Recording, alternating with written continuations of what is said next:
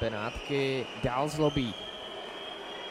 Kladenskou obranou trojici, no a teď Tomáš Havlín využívá dvojnásobnou početní převahu a Benátky vedou 1-0. Hořava, Matula a jeho střela z první, vůbec to nebylo špatné. Jede až do hlouby útočného pásma, tomu se nabízí Klos, Klos ze střela, je to gol! Jan Klos využívá přesilovou hru a Kladno vyrovnává na 1-1. Dlouho čekal Jan Klos na svůj první gol v letošní sezóně a ten přichází v pravý moment. Matula.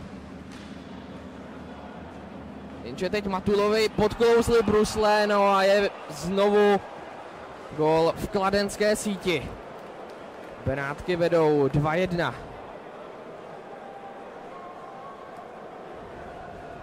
Rychlou střelu, ta přichází a skoro se ještě dostával ke střele Svedlund a Patrik Machač 8 setin sekundy vyrovnává na 2-2.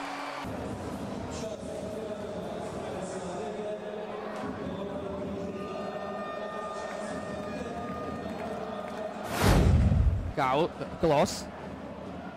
Gehar.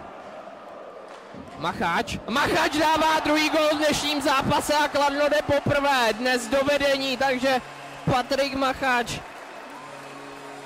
který dává svůj třetí gol letošní sezóně. Lendák. Svedlund. Zikmund. Dobře to udělal Ladislav Zikmund, který zvyšuje na 4-2. Štych, Štychová střela. Kousek vedle Steskovy brány. Zažehnána, teplý. Husa. Psota. Bitnerova střela, která už ale brankou končí, takže Benátky snižují na 3-4. Kladno je v plném počtu, ale před bránou úplně volný Krištof Hrabík.